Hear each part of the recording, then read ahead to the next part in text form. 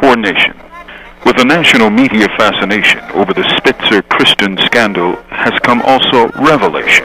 We, all of us, are living in a nation of whores. Doubt it? Now, I'm not referring to a young call girl, nor am I really talking about former Governor Eliot Spitzer. Although, in truth, there is much more than sex that unites them. More, in fact, than that which divides them. For despite first reports, Kristen hails from a well-to-do New Jersey family, who, having left home, has experienced hard times. In that sense, both she and Spitzer hail from the same or a similar class.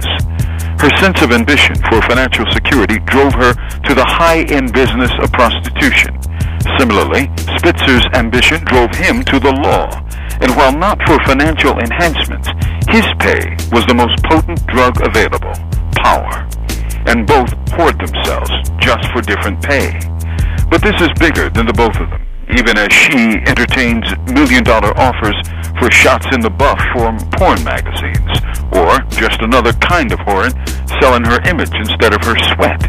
In America, where culture, entertainment, politics, and all fields of endeavor are under the sway of capital, the question ain't whether we're for sale, but for how much. And what is whoring without exploitation? In a nation fast facing deindustrialization, where manufacturing is becoming a memory and the economy tumbles into the bin of the service industries, what is the quintessential service but the oldest profession, prostitution?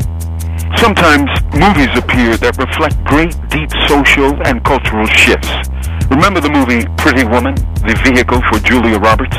The theme was the whore with the heart of gold who caught the eye of a wealthy man. What do you think that film whispered to millions of little girls, or for that matter, little boys, sitting in the dark, lost in flickering light, dreaming about tomorrow?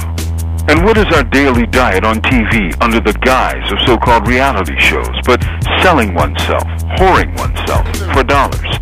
The more humiliating, the more dough, it seems. Culture, even corporate culture, sometimes reflects and even presages what is happening in real life. What we laugh at during the night's entertainment becomes dreaded drudgery in morning light. For it seems what we find ridiculous on the tube, we live on the job, for both reflect the daily humiliations of survival. In politics, in entertainment, in business, in our social lives, we sell ourselves to the highest bidder. Whores in every sense but name. At bottom, it's about power and exploitation. The sale of the body, which in capitalism's logic is just another commodity.